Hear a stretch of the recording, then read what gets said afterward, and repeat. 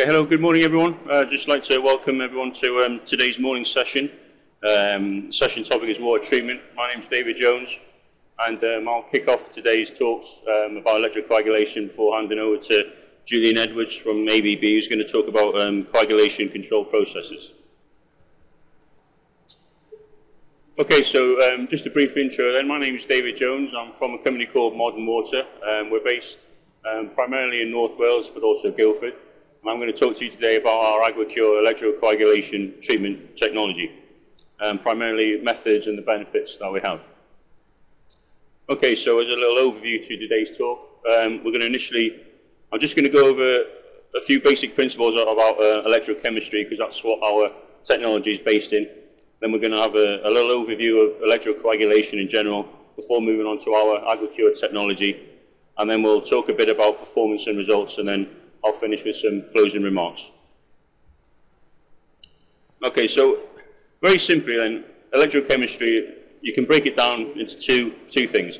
In the chemical reaction, you have reagent 1 plus reagent 2, which gives you a product. In electrochemistry, however, you have a reagent 1 and you utilize an electron as a secondary reagent, and that's how you form a product. So in essence, the electrons you use as a reagent, and you can control the rate of this reaction through electrical current.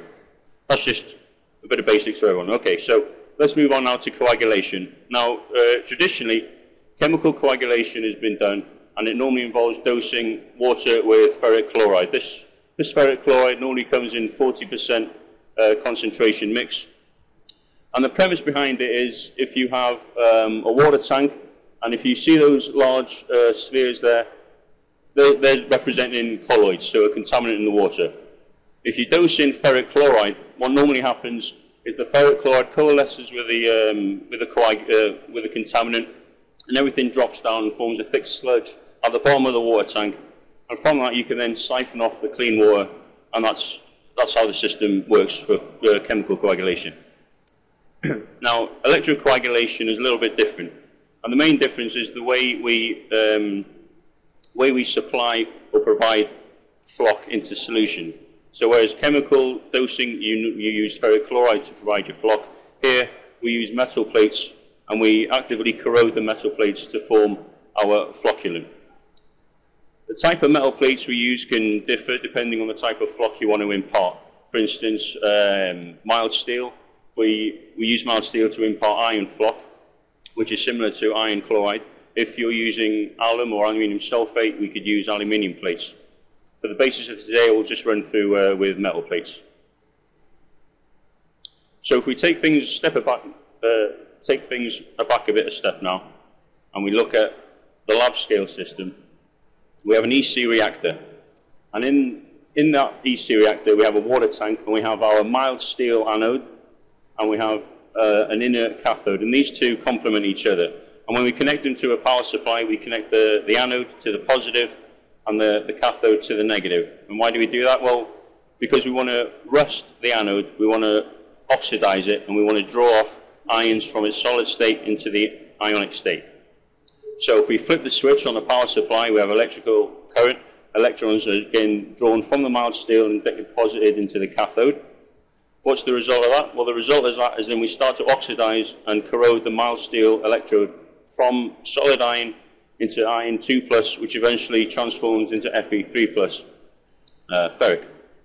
Now, because we're providing electrons to the cathode, there has to be another uh, reaction occurring, and this reaction is hydrolysis of water molecules. This is where we break up the water molecules into hydroxide and hydrogen. The hydrogen gas is just uh, given off, and it's the hydroxides that we're quite interested in. Because they're both positive and negative in charge, they come together and they form our flocculant, our FeOH3, ferric hydroxide. So overall, the basis of um, an electrocoagulation reactor, uh, reactor, is to form FeOH3, which ours, is our uh, coagulant. Okay, so that's lab scale. This is more industrial size now. And very simply, it's electrodes in a water tank connected to a power supply. Flip the power supply on, you have electron transfer, and you start to get your corrosion of metals into solution and your formation of iron floc. Okay, so that's electrocoagulation. Now we're going to talk a bit about our technology, the AquaCure technology. There's a rather uh, rudimentary photo of our system currently on site in Texas treating marine effluent. Um, what it is, it's a, it's a closed polypropylene EC reactor cell. So basically, the grey box you see is polypropylene, and we use that because we want it to be inert and unreactive. We're, the only reactions we want to occur is on the metal electrodes inside. Okay, now these electrodes are housed inside the, um, inside the cell in a monopolar configuration. Again, you can either have steel if you're trying to dose in iron, or you can have aluminium if you're trying to dose in al aluminium hydroxide.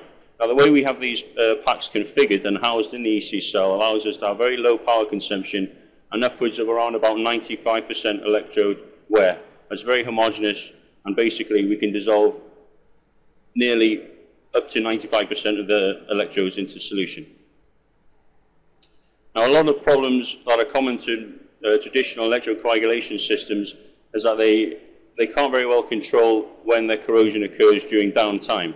For our systems, we have a novel inbuilt corrosion prevention system which allows us to cut off and totally stop corrosion when we don't want it to happen. The benefits of this is that we don't lose any of our flux source, any of our anodes, when it's just in downtime. Downtime means when the electrodes are not being in use, but they do sit in water. One more little point to make then is basically it's very easy for these systems to be exchanged and changed from one to another. And all it does is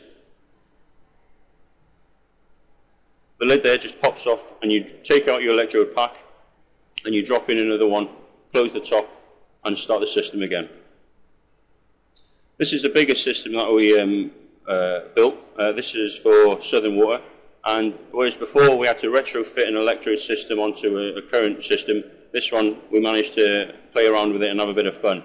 So we have an EC chamber on the right-hand side there. There's a buffer tank between the raw water tank we were drawing off and to, the, to our system.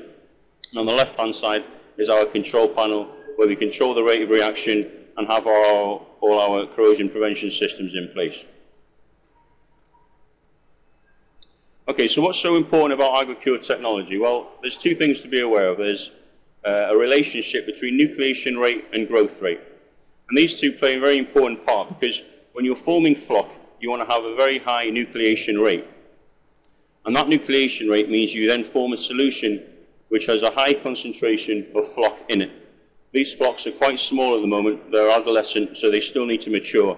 But we ignore the growth rate part of the relationship and focus on nucleation rate. So we're generating lots and lots of sites that can actively form into flock. That's the first part of the system. The second part of the system, the downstream process, is now where we start to switch the relationship and we then promote growth rate. And the growth rate is very important because we want as large a flock size as possible to have as large surface area to attract the contaminants that are in the water. And what we form uh, ultimately is macro-sized coagulant flocks. There's a picture of um, floc in solution that we normally produce. Okay, let's have a look at some uh, results now. Uh, just a bit of background. Um, this trial, or this project, looked at suspended solids removal in marine effluent. We had a raw starting concentration of 1,000 ppm, and our target was to hit uh, 70 ppm residual. So first off, we always run um, we always run chemical dosing trials. And we did this at, at an unregulated pH. Uh, the dashed line indicates 70 ppm, which is our target. And as you can see, we dosed anywhere from 0 to 200 ppm of uh, ferric chloride, and we, we didn't get near target. If we then start to tweak pH to get optimum pH of 7, we see we begin to approach target, but not quite. When we run conventional EC, we do eventually hit target, but only at a very high coagulant dose of 400 ppm. Now, when we run the wastewater through our AquaCure EC system, we see that we hit target at 50 ppm, and eventually the results get better as the coagulant dose increases. What does that mean in terms of um, power and energy consumption?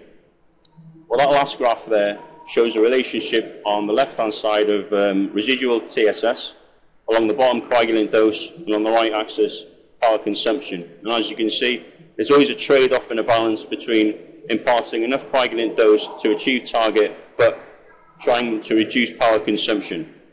So as you can see, at 50 ppm, no, no, sorry, at 10 ppm, power consumption is low, whereas if we increase to above 25 ppm, our power consumption becomes high, but we have less residual TSS.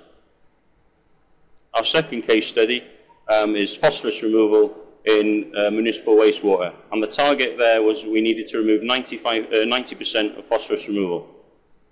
And these results are important because they're, they're a direct like-for-like -like comparison. Um, so for instance, all the coagulant doses were the same, whether they were from ferric chloride, from conventional or AquaCure EC. Okay, so at chemical dosing optimum pH, we achieved our target of 90, 90% uh, P removal. If we run it through conventional EC, we notice that we have a drop in performance and we only ma maximize P removal at 76%. Now, if we run it through AquaCure EC, we notice that we surpass both those other treatment methods and we hit 97%. The other value in red there shows that for AquaCure EC, we even dropped power consumption by a half. Okay, finally, just to summarize uh, uh, this talk, the way AquaCure system works is that we have full 100% control of the flock forming environment. This means that initially we promote and push nucleation rate over growth rate, and then afterwards, during the downstream processes, we push for growth rate, and this allows us to achieve larger, stronger sized flocks that are resilient to shear um, and, and, and turbulent regimes. Because of the way AquaCure is set up, we have significantly reduced coagulant doses required, which means we don't have to impart as much coagulant dose as conventional EC or indeed chemical dosing. Uh, the side, side point to make is that we also have lower residual coagulant left in suspension, uh, left in, in treated solutions as opposed to conventional. Because of the, in, uh, the inbuilt um, cathodic protection systems we have in all our chambers, we also avoid um, passivation issues that normally blight conventional EC.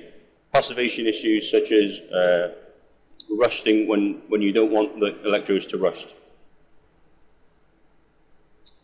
If you compare the cell I showed you in the first slide, um, it housed an electrode pack which weighs about 15 kilograms and is 26 centimeters by 5.5. If you compare that to maybe a tank of 2,000 liters ferric chloride, the footprint sizes are completely different, so we can retrofit into smaller systems where space might be an issue.